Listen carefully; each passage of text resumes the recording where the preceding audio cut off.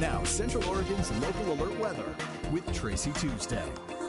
Well, how you doing, Central Oregon? Thank you so much for tuning in and checking us out this evening. Let's jumpstart the new week at the beach. Thank you to viewer Johnny Oliver for capturing this lovely shot and what a great backdrop the mountains. Now, we are in store for more lovely but hot weather on the high desert. In fact, Thursday, the northern lights are coming to Oregon. More about that in just a bit. But right now, let's gauge where we are temperature wise for the remainder of the week into next week. Tomorrow will be sort of a replica of today's temperatures, which will steady around 87 degrees. A slight tick up by one degree on Wednesday. Then temperatures will begin to rise on Thursday to 90 degrees and reaching the low to mid 90s by our weekend. Now let's get an overview of the high desert and the surrounding cities. Very little cloud cover tonight. Temperatures will drop down to the low to mid 40s. Those northwest winds will pick up this evening, turning southwest by tomorrow, gusting upwards of about 30 miles per hour through Wednesday.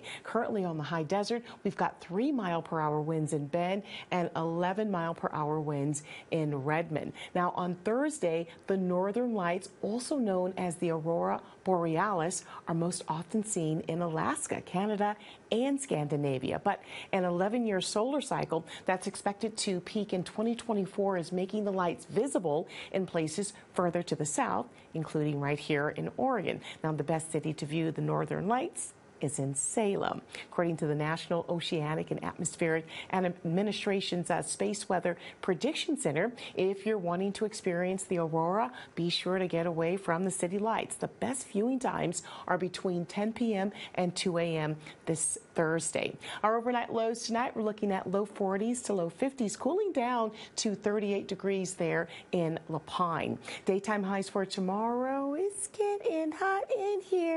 Little reference to Nelly.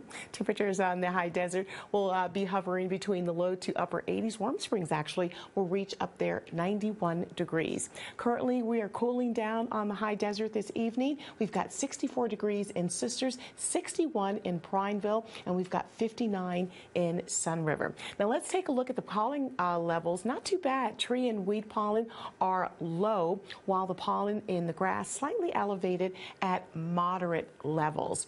How about that seven-day forecast? Breezy conditions will stay with us through Wednesday.